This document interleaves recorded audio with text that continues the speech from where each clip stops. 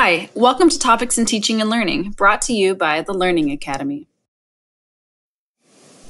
Today's topic is backwards course design. This brief overview will cover the basics, what it is, how to go about it, as well as why you might want to use it. Before we get started, consider this scenario. A friend asks you for help in planning her next vacation.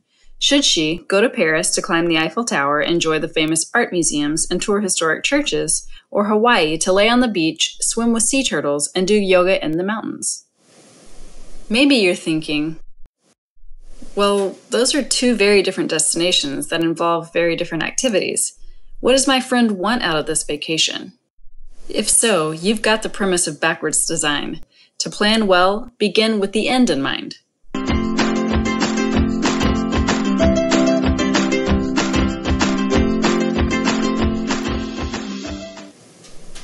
Ask yourself a couple of questions. What serves as the inspiration for my design when I'm building a course?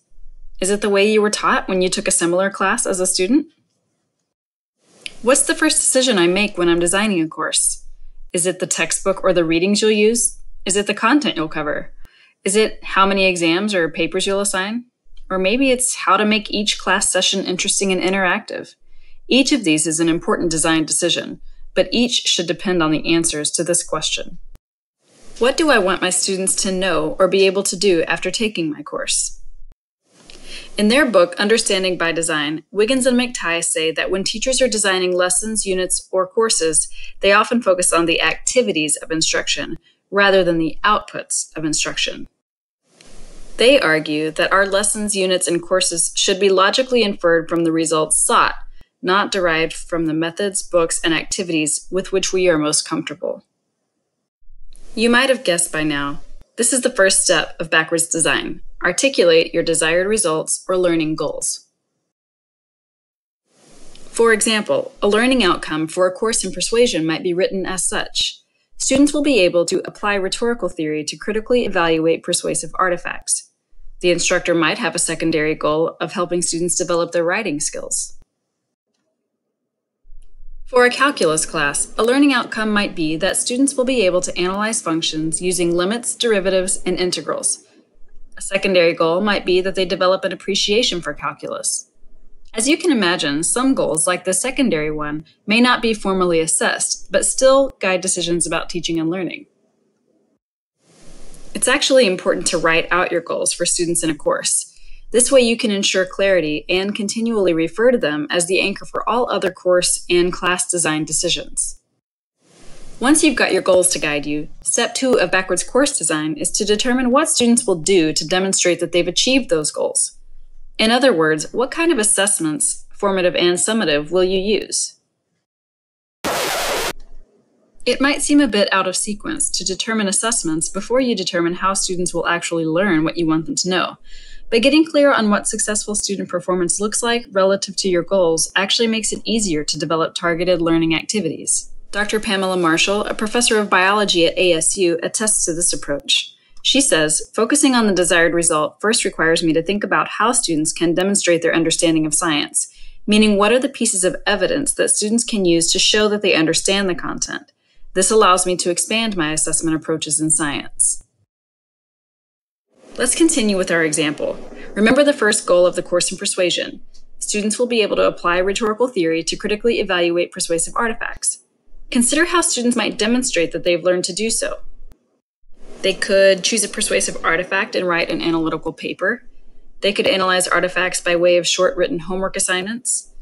They could demonstrate this through an essay or a short answer question on an exam. Or they could give oral presentations in which they discuss their analyses of artifacts.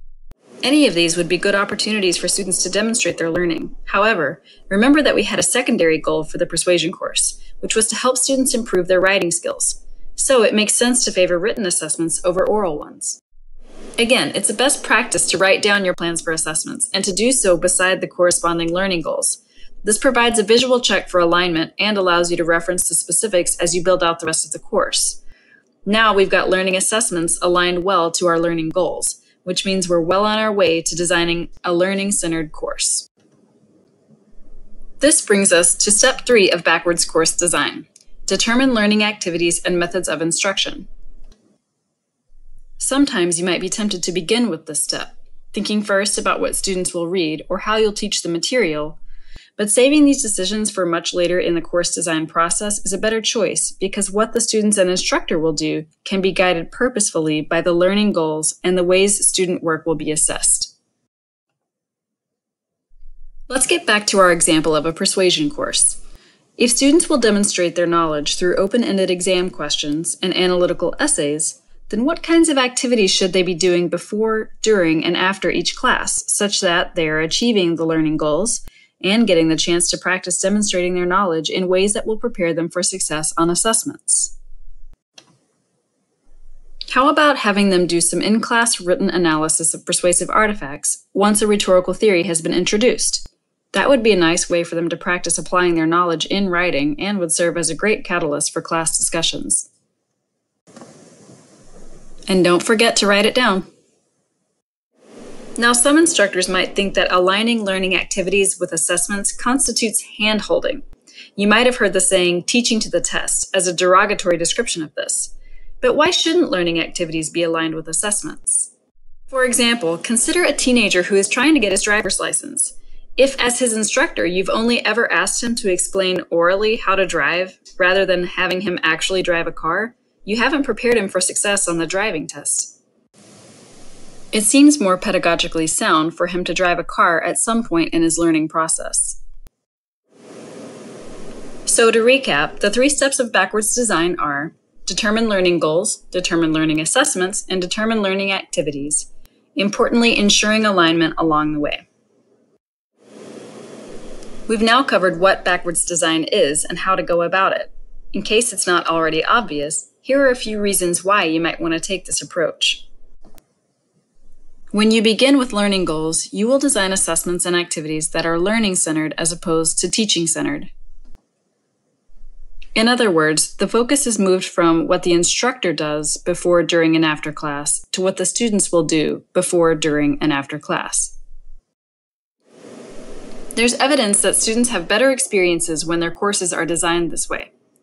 After taking learning centered courses, students have shown, for example, improved self efficacy, higher satisfaction with learning experiences, improved performance on key assessments, and higher achievement on learning outcomes. Plus, backwards design can lead to a better experience for instructors. In case you missed it, backwards design facilitates alignment among your learning goals, learning assessments, and learning activities. One benefit of this is a sharper focus on content that's most important for students to learn, this really helps you to think about essential concepts and essential questions rather than just content coverage. Another benefit of backwards design is that it facilitates expanded or even novel approaches to assessments and learning activities. When you stop to ask yourself, how can students learn this or demonstrate their learning, you're less likely to stick with the way you've always done things. Ultimately, all of this can lead to a sense of more purposeful teaching, who doesn't want that? To sum up, if we design courses with targets in mind, we're more likely to hit the mark. That's backwards design in a nutshell. I hope you enjoyed this overview.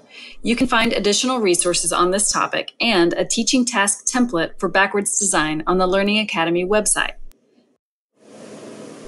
Join me for another topic in teaching and learning soon. See you next time.